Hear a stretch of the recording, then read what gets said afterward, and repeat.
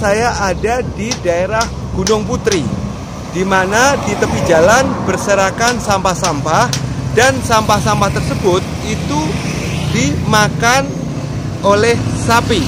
Nah, baik sahabat-sahabat bagus, kita lihat mengapa sapi-sapi ini e, bisa memakan sampah. Ayo sahabat-sahabat bagus kita melihat dari dekat.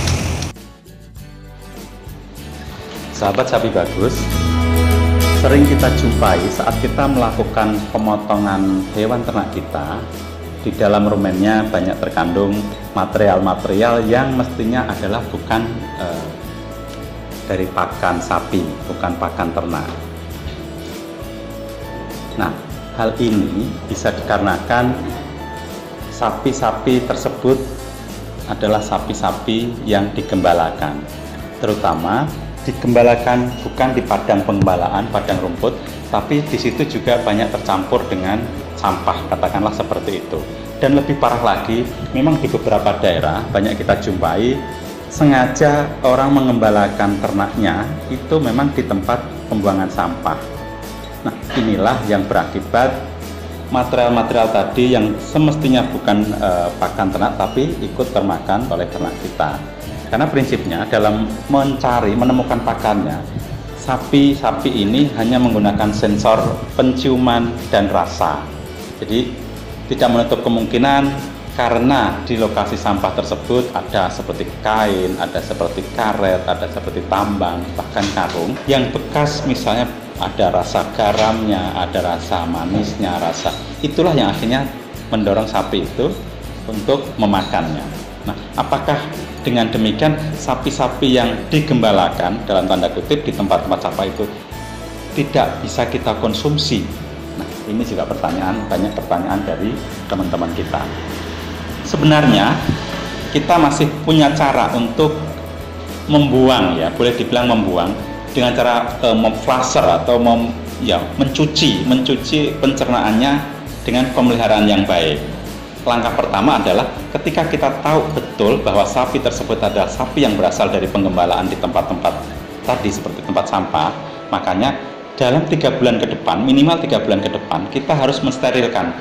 Pakannya kita rubah total. Harapannya adalah kita bisa mencuci rumennya yang semula mungkin terkontaminasi dengan berbagai macam tadi material-material sampah tadi menjadi uh, normal kembali.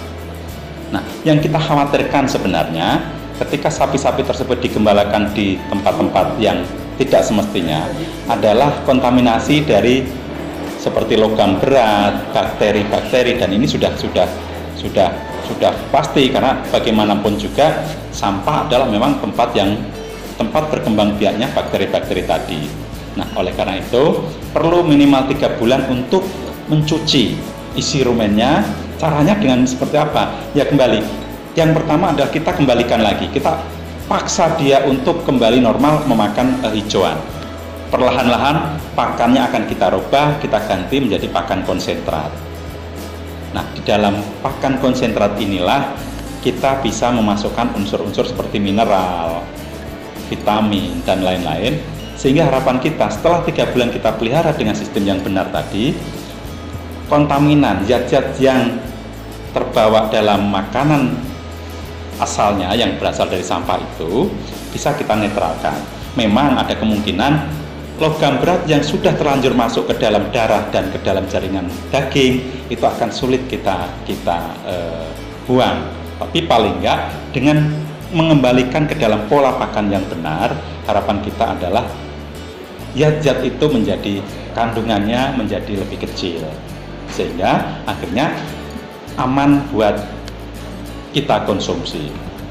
Itu barangkali yang bisa kami sampaikan bagaimana cara triknya, bagaimana merubah sapi-sapi yang tadinya digembalakan di tempat sampah menjadi layak kita konsumsi.